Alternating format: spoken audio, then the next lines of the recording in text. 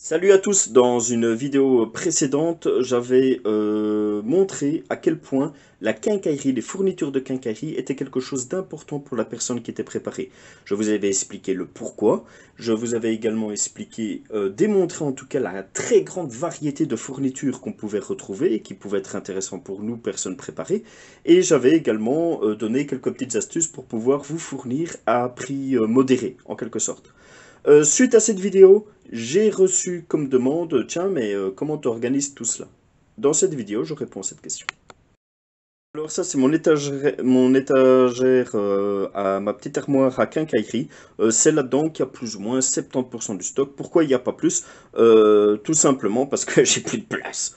Alors, au-dessus, qu'est-ce qu'on va retrouver? On va retrouver bah, plein de choses, des ressorts, des goupilles, des cavaliers des clous, des agrafes pour la graffeuse pneumatique, euh, des petites vis comme ça pour euh, tout ce qui est les, aquaplans, les, les, espèces de toits qui doivent être correctement isolés. Euh, bref, j'ai plein, plein, plein, plein de petits bazars.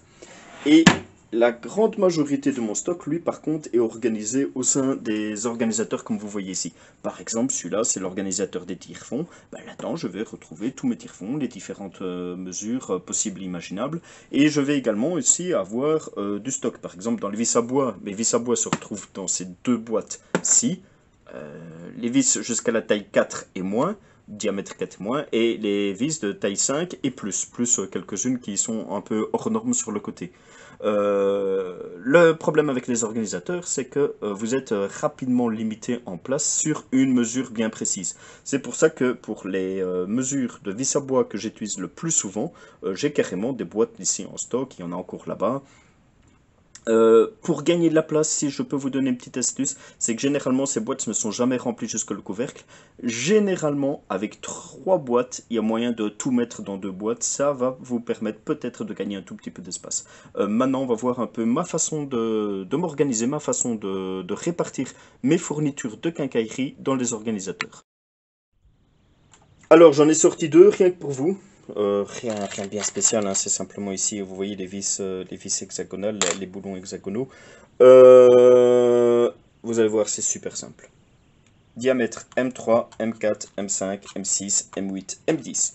Je pars de la droite vers la gauche, en 16 mm de long, en 20, en 25, en 30, en 35, en 40, en 50 et en 60. Et en fait, tout est organisé comme un toucher-coulé, où euh, je, vais, je vais dire, j'ai chaque fois une abscisse, une ordonnée en quelque sorte, qui va me dire euh, précisément où je vais trouver la fourniture qui m'intéresse. C'est ça l'objectif. Je vous l'ai dit lors de la première vidéo, c'est important d'avoir une grande variété euh, de fournitures de quincaillerie disponibles, mais également une grande variété de tailles disponibles, afin de pouvoir choisir la bonne fourniture pour le bon bricolage. Et ici, bah, voilà, comme j'ai des vis, pour terminer le système boulon, M3, M4, M5, M6, M8, M10. Tout ça me permet de pouvoir, je ne suis pas un professionnel du bricolage, là c'est pas mon métier, mais je suis un bricoleur régulier. J'ai besoin en fait de pouvoir euh, avoir quelque chose de fort organisé, de fort rangé, pour euh, pouvoir être rapide et pour pouvoir être efficace, ne pas perdre de temps dans mon travail. Ça me permet également cette façon de travailler, euh, en tant que personne préparée, de pouvoir me dire, bah tiens, hmm, attention ici, des vis en calibre M10 de 5 cm de long, ben, j'en ai que deux. Donc si une fois il y a une promotion en grande surface de, bricolage, ou que j'ai un bon euh, lors d'un cadeau, parce que c'est mon anniversaire ou que sais-je, euh, c'est peut-être euh, en regardant simplement mes organisateurs que je vais pouvoir dire, bah, tiens là ce serait bien de compléter le but, ce n'est pas évidemment d'avoir un stock qui déborde, il faut quelque chose qui est raisonnable. Moi, regardez, c'est assez important quand même, et comme je vous ai dit, je suis un, bricoleur régulier, euh, peut-être que vous, ce sera beaucoup plus simple, hein. peut-être que vous, euh, trois vis de chaque, ce sera suffisant. Euh, évidemment, c'est à vous de vous adapter, mais bon, personne préparée, c'est personne qui est capable de pouvoir résoudre quelques bricolages par soi-même. Donc, euh, bah, on arrive vite à quelque chose de fort rempli, malgré tout. Ça, c'était un système. L'autre système, ça ne change pas. L'autre euh, organisateur, ça ne change pas. Ici, la rangée des M3, des M4, des M5, des M6, des M8 et des M10. Et vous voyez qu'ici, en fait, on a d'autres écrous, des écrous à frapper, des écrous papillons et autres et autres.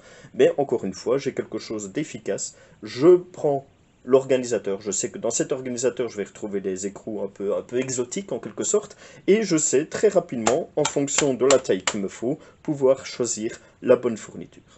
Voilà, j'espère avoir pu répondre à votre question de comment j'organisais euh, plus ou moins euh, tout ça. Euh, non, non, je vous montrerai le reste euh, une autre fois. Euh, voilà, euh, sachez qu'en dehors de ces organisateurs, en dehors de cette petite armoire, j'ai également du stock de choses que j'utilise encore plus. Par exemple, je vous ai dit que j'utilisais beaucoup les vis à bois, et ben j'ai encore un stock de vis à bois.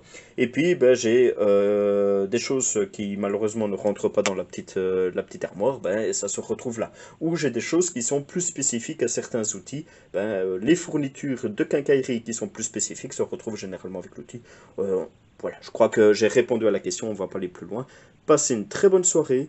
Abonnez-vous à la chaîne, laissez un petit pouce bleu euh, ou un petit pouce rouge si vous avez aimé, si vous n'avez pas aimé. Mais surtout, préparez-vous. Bonne soirée.